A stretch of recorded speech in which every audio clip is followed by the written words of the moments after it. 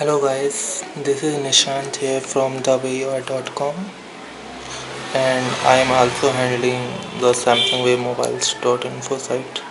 Uh, first, I first of all I want to apologize for not uploading any tutorials since so long.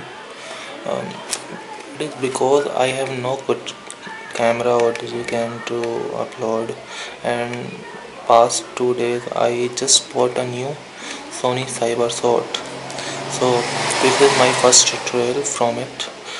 Hope you will get more benefit benefits of it. Uh, so now I am going to show you how you can uh, customize your home screen and menu screen. Um, but uh, I want to show you uh, sorry uh, I want to tell you that uh, you cannot add your on on menus in home screen or menu screen. You can add only widgets in home screen. This is your home screen and these are widgets and this is menu screen. You uh, only the installed application will come here. In the 1.1 version I can't say about uh, 1.2 uh, yeah but you can add anything in your home screen and menu screen in 2.0 version. So right now I am running 1.1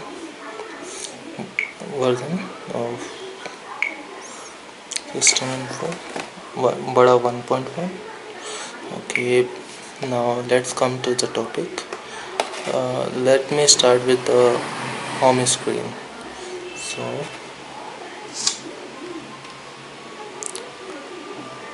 this is your home screen and this is a clock widget. Now I will show you how you can customize it. Uh, right now I am having only 4 home screen. You can add up to 10 home screens. So to add or remove home screen press the widget button here and rotate the mobile. Now here you can play with home screen. Uh, whenever you see a minus sign anywhere it means it will remove that particular object let's suppose I want to remove this home screen. So I will press over this minus button and it is removed. And to add the home screen here this side left side I will press the plus button. It has added the home screen.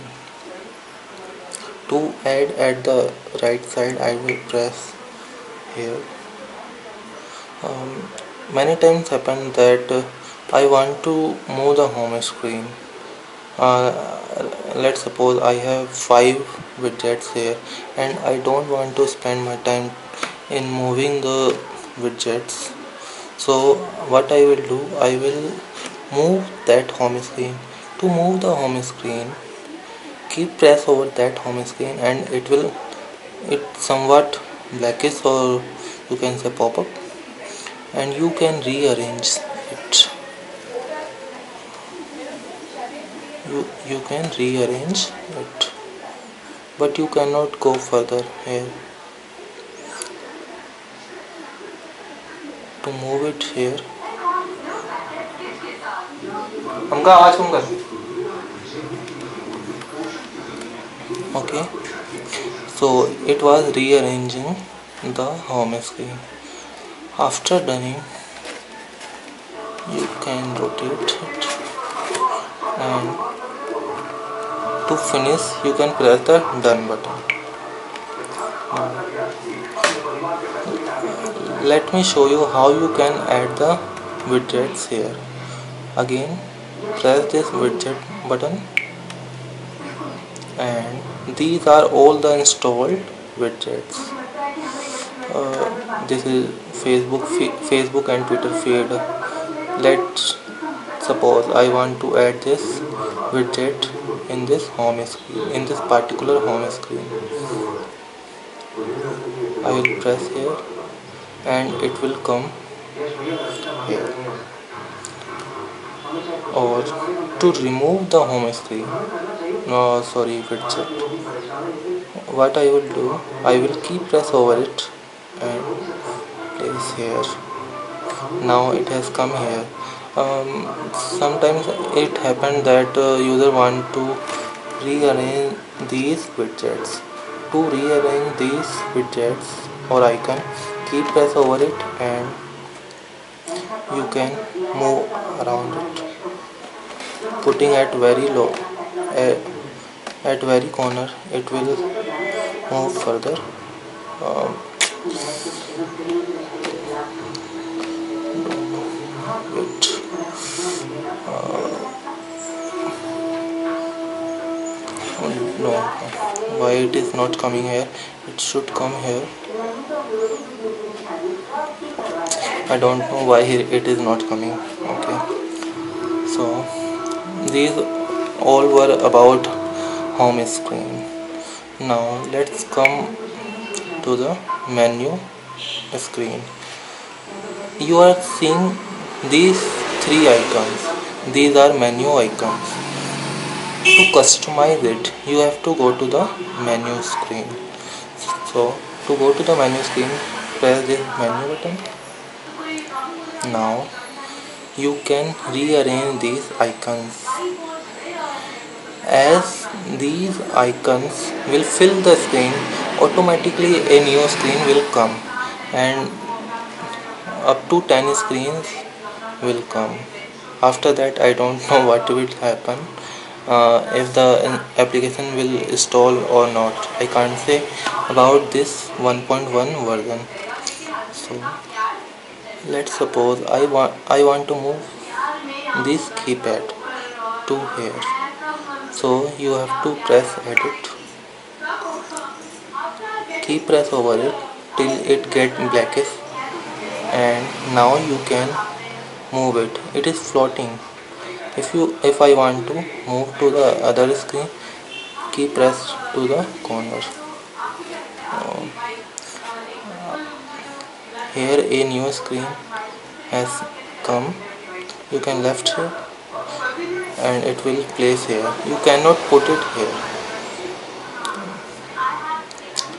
If you want to rearrange these you can also do that. You can keep press over it and place here. You can place this icon to here. And after finishing you can press done. Um, all the installed app icon comes here only here. You cannot move it to any other screen. Uh, or you cannot add folder in 1.1 version. You can add folder in 2.0 version so let's suppose I want to uninstall the app. Removing the icon means it will remove that application. It will remove that uh, uninstall uninstall that application. Um, let's suppose I want to remove this application. It was in the um, memory card and now memory card has been removed. So there is no icon to show the data. I will press over it and it is asking me to install the application. I will press yes and it has installed so these all were about the customizing the screens. Hope you have learned something from it and thanks for watching and please subscribe to my Samsung Wave Mobiles channel. Have a good day hope you have got the upgrade. Bye